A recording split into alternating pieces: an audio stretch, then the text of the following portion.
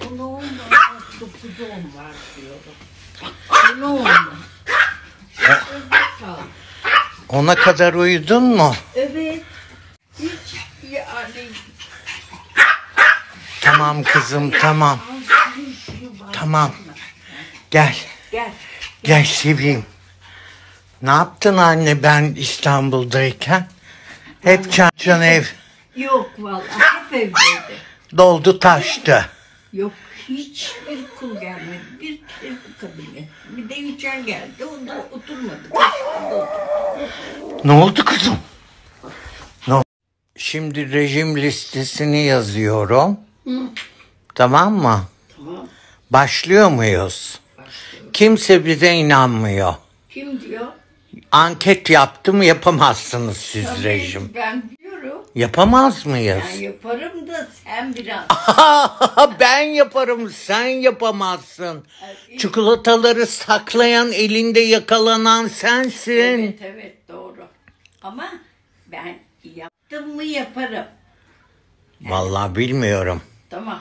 Halam 5 kiloyu çat Ya. diye vermiş. Ne çat iki ay oldu. Olsun. Olsun keşke ben. Ha bakalım verecek. Dur bir. Ha canım gel. Şu anahtarımı şuraya bırakayım ben bir denize çantasız gidip. Ben de diyorum ki acaba uyuyor mu tekrardan?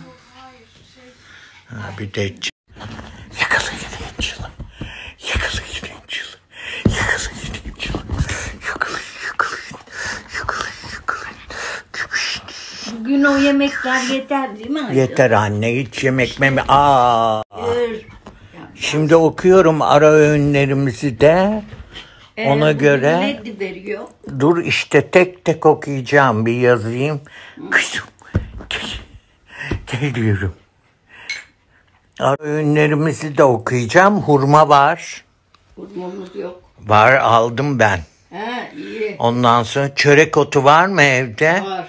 Çörek otu var. Ondan sonra bir de normal yemekler. Şimdi hepsini yazacağım tek tek. E, bizim Sırayla. normal yemeğimiz var. Zaten öyle yemeklerle yapılacak rejim. Tabii. Yani onu şimdi ben